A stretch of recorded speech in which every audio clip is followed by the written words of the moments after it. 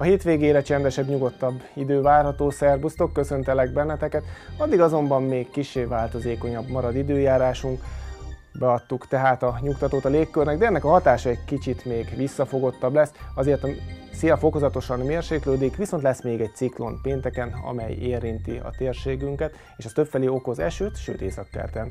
Akár havas eső, hó is előfordulhat, és a hétvégére, ahogy már említettem, megérkezik a nyugodt időjárás. Hogyha megnézzük az előrejelzett felhőzeti képet, akkor láthatjuk, hogy továbbra is nagyon erős az áramlás fölöttünk, nyugatias széllel érkeznek hozzánk a felhők, illetve a frontok, Átmenetileg szárazabb levegő alakítja időjárásunkat a csütörtöki nap folyamán, de már föltűnik ez a hatalmas fehér felhősáv, ez ahhoz a ciklonhoz tartozik, amely pénteken vonul át majd fölöttünk. Aztán, miután az a ciklon elmegy, nyugat, észak-nyugat felől ismét szárazabb léghullámok érkeznek majd fölénk. Ez az ország döntő részén azért nem okoz jelentős mennyiségű csapadékot, tehát 5 mm meghaladó csapadékot ez a ciklon nem okoz. Hogyha megnézzük az előrejelzett hőmérsékleti mezőt, azt láthatjuk, hogy továbbra is nyugatias áramlással viszonylag hűvös légtömegek érkeznek fölénk, de azért nyugat-délnyugat felől már kissé enyhül az idő, és itt látható ez a ciklon, amiről az előbb beszéltem, ez fokozatosan kelet felé elhagyja a térségünket, aztán kiépül egy ilyen nyugatias, délnyugatias áramlás a magasban, amelyel már egyre enyhébb léghullámok érkeznek majd fölénk, és ez az enyhe levegő lesz hatással időjárásunkra vasárnap, illetve hétfőn is. Ekkor a hőmérséklet egyre több felé 15 fok közelébe, sőt hétfőn akár 20 fok közelébe emelkedhet. Ne szaladjunk ennyire előre, nézzük, hogy mi várható az éjszakai órákban. Eleinte még előfordulnak záporok, majd ezek fokozatosan megszűnnek a késő esti éjféli órákra, aztán a legtöbb helyen kiderül az ég. A minimum hőmérséklet általában gyengén fagypont alatt alakul.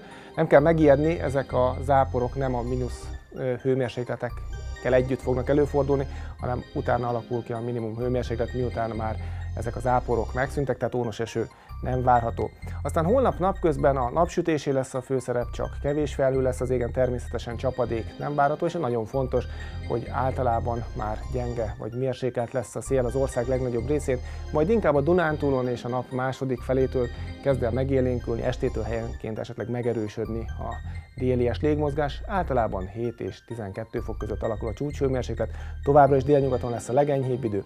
Aztán pénteken, ahogy láthattátok, érkezik ez a ciklon fölénk, beborítja felhőzete az országot, és sokfelé várható eső, záporeső, de itt látható, hogy északkeleten bizony havas eső és hó is hullhat, megmaradó hónak kicsi a valószínűsége, de azért péntek hajnalban, reggel, északkeleten előfordulhatnak olyan területek, ahol kifehéredik a táj, de csak átmenetileg, mert igen, enyhe lesz az éjszaka egyébként. Aztán, hogyha tovább megyünk, akkor napközben, péntek napközben már felszakadozik, csökken a felhőzet és megszűnik a csapadék az ország keleti részén is, és jelentősen erősödik a nappali felmelegedés, általában 8 és 12 fokot mutatnak majd a hőmérők a legmelegebb délutáni órákban, aztán eljön a nyugodt hétvége, sok napsütésre lehet számítani, és erősödik a nappali felmelegedés, eleinte csak 5 és 10, majd egyre inkább 8 és 15 fok között várható majd a csúcshőmérséklet. Mondanom sem kell, hogy ez jóval meghaladja az ilyenkor szokásos értékeket. Ezzel én meg is köszönöm a figyelmeteket, természetesen továbbra is elérhettek közösségi oldalainkon. Hogyha tetszett a videó, akkor dobjatok egy lájkot és iratkozzatok fel a csatornánkra. Sziasztok!